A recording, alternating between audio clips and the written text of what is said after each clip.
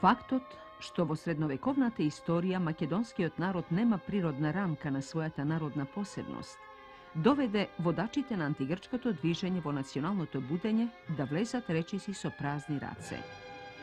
Прадедовската традиција, која во вакви услови игра значајна улога, овде отсуствуваше. Појдовната основа во изградбата на националната свест беше сосем сиромашна во споредба со соседните народи – Дури сега доаѓаше до израз неисториското минато во смисла на немање посебна државност со свое име. Во вакви услови, тие го отфрлија македонското име. На тоа, како учени луѓе да се одречат од грчкото име и да го прифатат бугарското како народно словенско, ги тераа бугарските, српските и руските словенофили. Меѓу нив беа Миладиновци, Жинзифов, Прличев и други, сите пред тоа грчки учители кои ги учеа македонските деца на грчки јазик.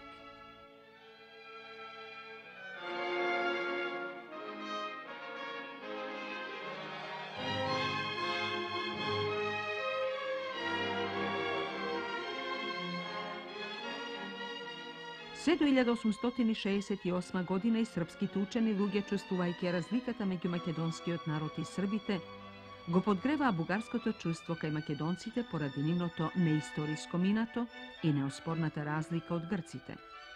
Требаше да се застане и на патот за создавање голема Елада, со прогласувањето на населението на Тракија и на Македонија за Словени со заборавена бугарска народност. Во претворањето на македонците во бугари, голема улога одигра и повеќето руски славофони Кој ревносно ја всадуваа бугарштината во свеста на македонската младина што се школуваше во Русија. Таа таму, како што наведува бугаринот Шопов, заработуваше бугарски дух. Таму тој дух го здобија Натанаил Охридски, Партенија Зографски, Ксенофон Жинзифов, Константин Миладинов, Константин Станишев и други, и се подготвија за национална работа во Македонија. Заедничката пак борба против грцизмот ги пренесуваше прерогативите на македонскиот народ во рацете на бугарските лидери. Во рамките на борбата против грцизмот во 50-тите и 60-тите години од минатиот век беше прашањето за наставниот, односно литературниот јазик. И овде се јавуваат две тенденции. Првата за општ јазик, заеднички со бугарите, средина меѓу македонските и бугарските говори, и втората да се воведе чисто македонски јазик, бидејќи македонците не се бугари, туку посебен народ. Застапниците за заеднички јазик со бугарите беа луѓе што своето образование го имаа стекнато во грчките училишта и му припаѓаа на кругот на Димитар Милатинов, Жинзифов, Партенија Зографски, Прличев и други.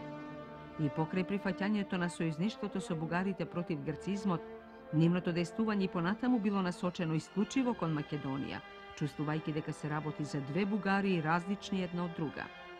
Зографски јасно напиша. Нашиот јазик, како што е познато, се дели на две главни наречи. Едното се говори во Бугарија и Тракија, а другото во Македонија. Македонските преродбеници во своите преокупации секогаш се задржувале на македонските етнички граници и ниту еднаш со ни еден збор не ја спомнуваат бугарската територија.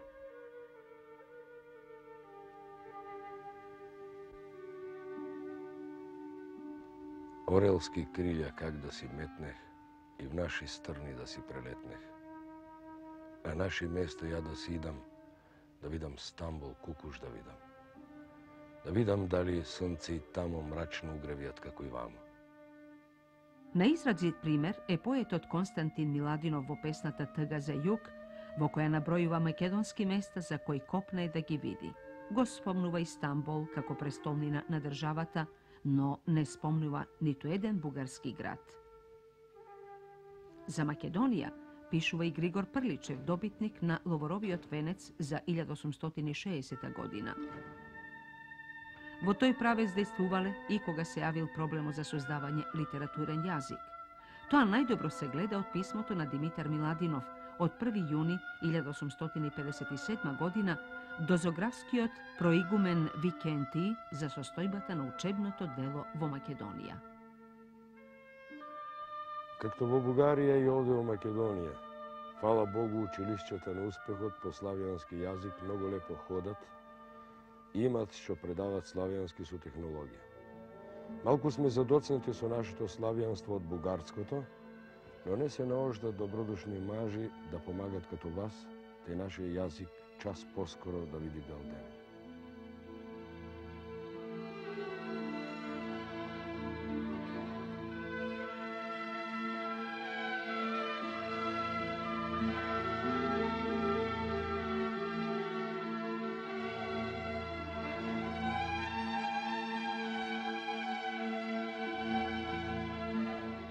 Македонските учебникари биле изложени на остра критика од бугарската пропаганда и биле обвинувани за уривање на бугарското единство поради употребата на македонскиот говорен јазик.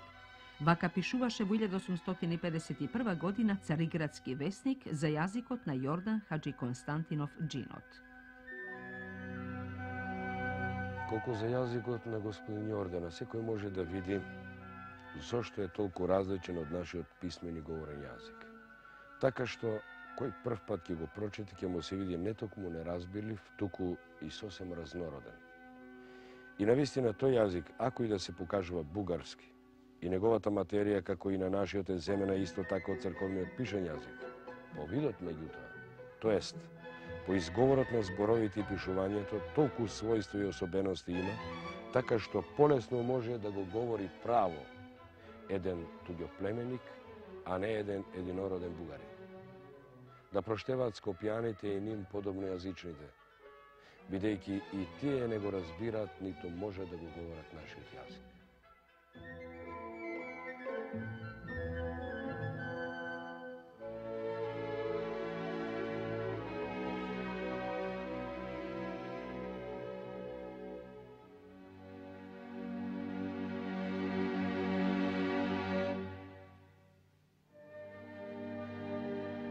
Застапниците пак за создавање македонски литературен јазик го истакнувале барањето македонската младина да се ограничи, да се учи и да се развива исклучиво на македонско наречје, дека друго било бугарин и бугарски јазик, а друго македонец и македонски јазик, дека македонците може да бидат секакви, но не и бугари.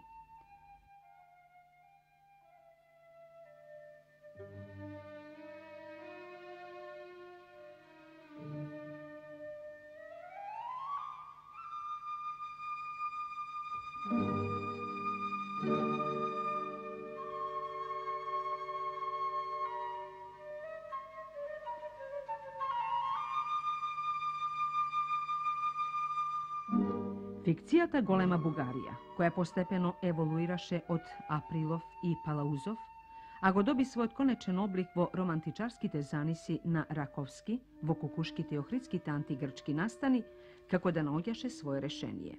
Бугарските водачи во Цариград решија да ги искористат за своите политички претензии на Македонија. Нивниот план беше најнапред духовно да завладеат со македонците – да влијаат асимилаторски за подоцна Македонија да биде вклучена во идната бугарска држава. Затоа и бугарските водачи демонстративно ќе го отфрлат ферманот за воспоставување бугарски архиереи по бугарските епархии, што во согласно со цариградскиот патриарх Јоаким II го донесе високата порта во 1860 година. Тие бараа овие права да се прошират и во Тракија и во Македонија. Оваа смелост на бугарските водачи Покрај поддршката од Србија и Русија, доаѓаше и од водачите на антигрчкото движење во самата Македонија. Нивното отфрлање на македонското име и прифаќањето на бугарското ја засилуваше илузијата дека македонците брзо ќе се претопат во бугари, особено затоа што далеку пред овие интелектуалци некои македонци како отец Паиси, Натанијал Охридски, Партенија Зографски се декларираа како бугари и бугарското име го втиснаа во кориците на своите книги, како што беше случајот и со Печиновиќ, Крчовски и Синаицки. Но сред македонските маси работите беа поинакви. Народот остануваше христијанин, раја, словен, па и македонец. Бугарштината беше одсутна во него. Народот бараше воведување на мајчиниот јазик во училиштата и во црквите. Во Цариградски вестник од 1860 година среќаваме дека Охриѓанецот Ѓорги Мустрев со желба за народност и јазик се обиде пред 8 години да фрли семе меѓу овој народ. Ѓорги отпрвин собра неколку деца од прости фамилии. Им даде прости букварчиња без пари и почна кај себе дома да ги учи на мајчин нивни јазик. Родителите почна од ден на ден повеќе да ја вкусуваат сладоста на својот татков јазик. И така, секој почна да го испраќа своето дете во тоа училиште. А сега докај 300 деца во куќата на Ѓорѓи учат. Љубопитно е да го види човек острумието на тие деца и краснописот што го имаат толку вешто совладано.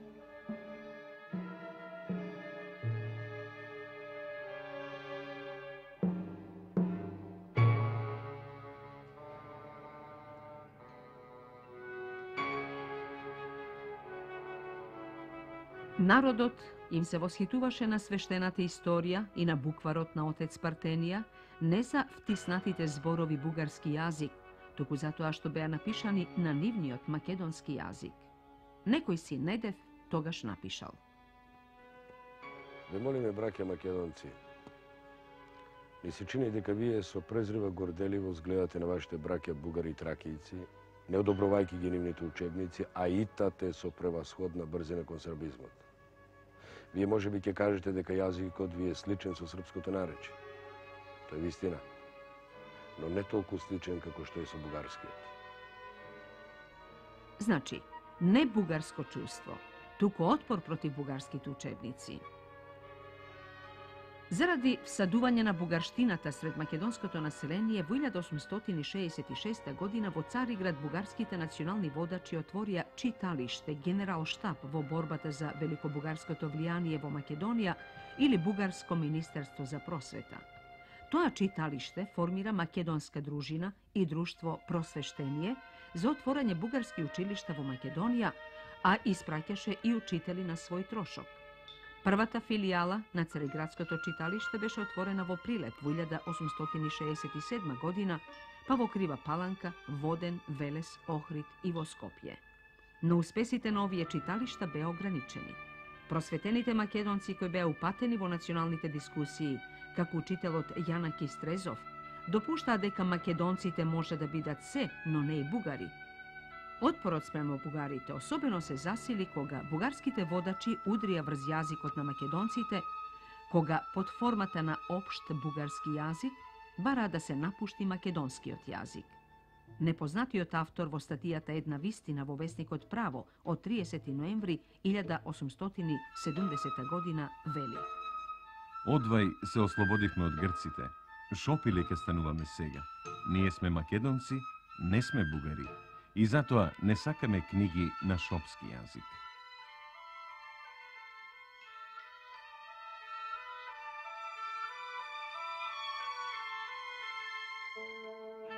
Пред допирот со бугарите, македонците имаат допири со србите, особено во северните делови каде што беа во употреба српски учебници. Но се до 1862 година Србија нема аспирации кон Македонија, туку го потикнува словенството наспроти грцизмот. Тогаш со Грција се поделени сферите на влијание во Македонија по линијата Горна Джумаја Охрид, а од 1868 година почнува да работи на ширење српска национална свест во Македонија. При првиот жив допир меѓу бугарскиот и македонскиот национален организам на површина изби македонството. Стојан Новаковиќ вели – Овој стремеш почна да се буди особено спротивностите меѓу бугарскиот и македонскиот говор и меѓу бугарскиот и македонскиот карактер од времето кога бугарската пропаганда почна со поголема нагласеност и острина да удира по македонските својства од името на панбугаризмот.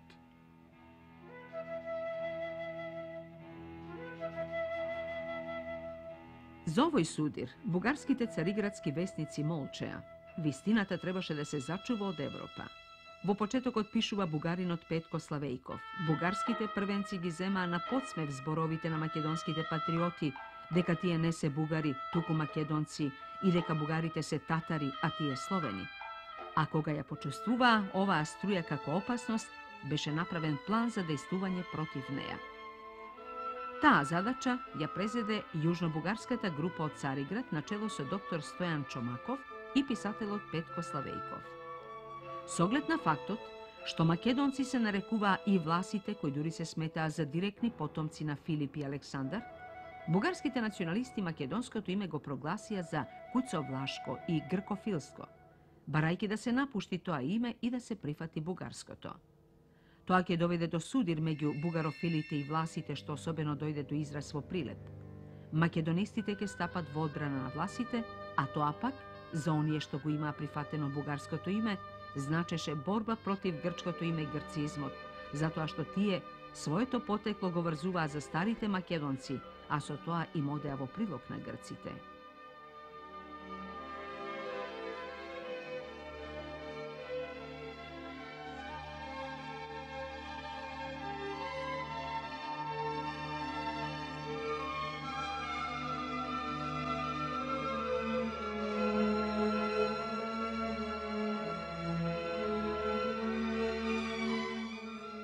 Истакнувањето на македонското име кон средината на 19. век како белек на индивидуалност и посебност беше природен процес. При недостиг од средновековна традиција под свој име во континуираниот развој како народ, словенските маси од Македонија го зеле за себе името македонци поради неговото вековно присуство. Затоа, против ова именување, се нафрлиле соседните пропаганди така што требало да се одговара на многу прашања. Не можејќи да дадат научен одговор на прашањето зошто се викаат македонци како словени дојдени 10 векови подоцна, македонистите се свртеле кон романтичарските докази за своето старо македонско потекло, додавајќи му и нова содржина, според која старомакедонците се словени, тврдејќи за себе дека се потомци на славната држава на Филип и Александар Македонски.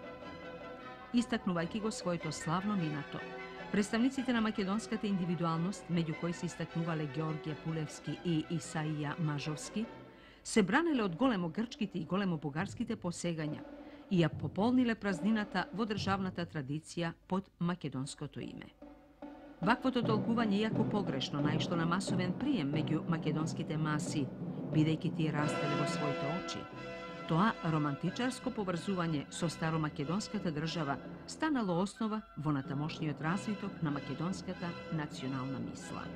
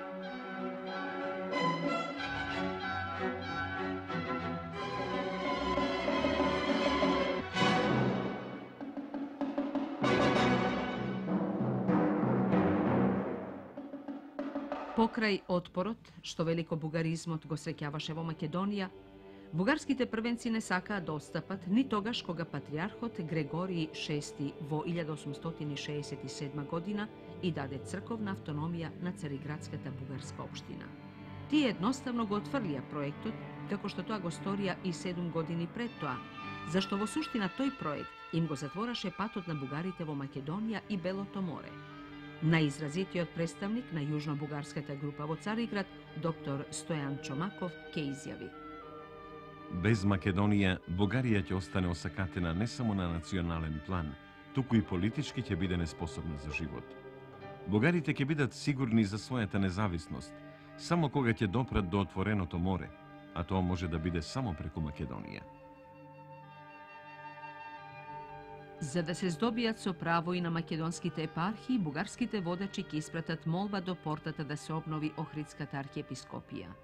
Поставувајќи го ова најпопуларно прашање на македонците, тие сакаа иницијативата за обнова на црквата да ја земат во свој раце од рацете на македонските родолюби, кои токму по прашањето на црквата ги одбиваа македонските маси од бугарите со зборовите, што бараат македонците да одат заедно со бугарите и да бараат заедничка црква кога имаат своја Охридска архиепископија. За таа цел Охридјани во 1867 година испратија молба до патриархот за обновување на Охридската архиепископија одделно Трновската патриаршија, но Бугарската црковна општина Свети Стефан ја задржа во својата архива. Со земањето на оваа иницијатива, тие требаше да ги канализираат патиштата во револуционерното движење на Македонија. Портата ја одби оваа молба, но бугарските водачи не се помирија. Тргнаа во самата Македонија, за да ги поведат македонските маси за остварување на ова за нив многупати посакувано барање. Нивната упорност ја зголемуваше и појавата на третиот партнер во играта околу Македонија, српската влада. Во 1868 година Србија ја напушти мислата за револуционерно создавање на Јужнословенското царство на чело со српската династија и тргна кон Македонија со чисто српска идеја, барајки права за кнежеството, не само за епархиите на Печката патриаршија, туку и на Охридската архиепископија како српска, со што предупреди дека таа има национални интереси во Македонија. Но ова барање по совет на Русија привремено беше повлечено. Бугарските пак водачи побрзаа во самата Македонија да постигнат што поголем успех во борбата против грцизмот и будењето на бугарското чувство кај македонските маси. Во тоа беа помогнати и од мал, но значаен број македонски учебникари. Бугарските агитатори во Македонија првин се нафрлија врз црковно-училишните општини, со цел да ги преземат раководствата од јурисдикцијата на Цариградската патриаршија. Општините не беа беззначајни, бидејќи во нив се опираше целокупниот живот во Македонија. Првата општина што бугарите успеа да преземат беше Прилепската, што беше дело на бугарскиот учител Ени Черев, а потоа и Охридската, Кривопаланечката и Скопската. Под паролата за словенство против елинство, бугарофилите на чело со Кусев и други ја почнаа борбата за остранување на грчкиот јазик од училиштата и од црквите во Прилеп. Така борејки се против грчките владици, како што ќе забележи Темко Попов, се фрлаа како слепци во преградките на бугарите, не обрнувајќи внимание на разликата што постоеше меѓу овие два словенски народа. И оние малкумина свесни македонци што ја сваќаа смислата на таа борба и го предупредуваа народот од бугарската опасност како Јанаки Стрезов од Охрид, браќата Чакреви од Струга, Паунчев од Солун и синовите на Хаджи Трајко од Скопје, беа оневозможувани од страна на бугарската агентура. Нивното гледиште се покажа малку подоцна, кога народот увиде дека со ова сојузништво со бугарите само го смени грчкото со бугарско духовно робство. Реакцијата на бугарскиот пробив во Македонија беше толку голема што еден анонимен дописник од Солун во вестникот Македонија во 1870 година вели дека Борбата започната меѓу македонските првенци околу македонското и бугарското е многу поголема и далеку понепомирлива, отколку што е расправијата со грчката страна. Во тој судир се изразија две струи меѓу поречките македонски сили, бугарска и македонска. Тоа поларизирање достигна такви размери, што на крај го присили Петко Славејков, по толку долго молчење за оваа македонска појава, да истапи со зборовите – Најпосле македонското прашање излезе во јавност и се појави во печатот. Велиме најпосле, затоа што ова прашање не е нова работа. Ние веќе за него слушаме десетина години од некои македонци. Сега таа работа не се голи зборови, туку во мислите кои многумино од нив сакат да ги спроведат во дело. Оваа појава беше видлива не само за бугарите, туку и за австријскиот конзул во Солун Липех, кој јавувал дека Скопските бугари се чувствуваат како македонски исечок од целата нација. а и самиот солунски валија Митхат Паша отворено зборувал во 1873 година дека македонците не се бугари, туку посебен словенски народ. Реакцијата против бугарштината беше таква, што во еден момент во однос на ситуацијата во Солун, бугарскиот учител Салганджиев ке извикне. Нема бугарштина таму. Нема праведност ни во срцата, ни во мислите, ни во домовите, ни по улиците, зашто таму се појави некаква тајна гибел за цел народ, која солунските чорбаджи ја одобрија и сака да ја растурат по другите места во Македонија. И на вистина, Солунската општина почна да игра улога на Централна македонска општина, која сакаше да го обедини и да го води целото македонско движење. Затоа бугарските првенци се нафрлија врз Паунчев и другите водачи врз така наречената тројка на Солунската црковна општина. Судирот беше жесток. Општината ги отфрлуваше бугарските учители. Бил истеран и македонецот Вењамин Мачуковски, кој не сакал да проповеда од македонските учебници на Шапкарев, туку ги препорачувал бугарските. Стануваше збор не за тројка, како што пишуваа бугарските цариградски вестници, туку за широк круг македонски патриоти, како што соопштува Салганджиев. Во ова време забеа оној ветер на порано замислениот план на некои учители од Западна Македонија, според кој македонската младина треба да се ограничи во учењето и развојот на македонско наречје. И во тој правец Да веќе беа започнале да се издаваат и издадоа некои учебници на тоа наречие. Покрај Солунчани, на таа линија беа и Велешани, Ресенчани, потоа Шапкарев, кој во тоа време проповедаше крстоносен поход против книгите пишувани на словено-бугарски јазик, па Иван Шумков, кој во 1871 година бараше од прилеп да се исфрлат бугарските учебници, Ѓоргија Пулевски, кој во својот речник ги изнесе македонските гледишта во 1875 година и многу други. Се гледа дека кругот на македонските патриоти не беше мал, и тоа одразуваше суштината на македонското национално битие, што лежеше во душата на македонците. И покрај се, ова македонско струење не доби повиден израз во европската јавност. Го задушуваа пропагандите. Во ваква ситуација, ова македонско струење доби уште еден удар. На 28 февруари 1870 година Високата порта го издаде ферманот за создавање бугарска екзархија. Со тоа беа закрвени односите меѓу Грција, Бугарија и Србија во Македонија. Тој раздор го предизвика членот 10 од ферманот, со кој македонските епархии, освен Велешката, која без согласност на Велешани беше приклучена кон екзархијата, станаа спорни меѓу патриаршијата и екзархијата. Бидејќи спорот требаше да се реши со плебисцит, се разви жестока борба меѓу бугарската и грчката пропаганда на теренот на Македонија. Така место обнова на Охридската архиепископија, што постојано ја бараа македонските епархии, особено Охридската, во Македонија почна борба за двотретинско мнозинство во црковните општини, што ја определуваше јурисдикцијата на едната или на другата црква. Бугарската екзархија ветуваше црковни титули, бесплатни учебници, народен јазик, се служеше со подкупи, а народот ги следеше своите првенци. За турците пак, овие судири го продолжуваа нивниот мирен престој на Балканот. Така дел од македонскиот народ од Прилеп, Охрид, Скопје и од други места беа запишани во нуфустефтерите како Бугар Милет, а делови од Македонија беа вклучени во орбитата на бугарските интереси, во прво време во границите на црквата, за, ако се може, подоцна да бидат вклучени и во политичките граници на бугарската држава. Ова определување за екзархијата бугарските лидери го искористија да му покажат на светот дека населението од Македонија се декларира себе си како бугарско.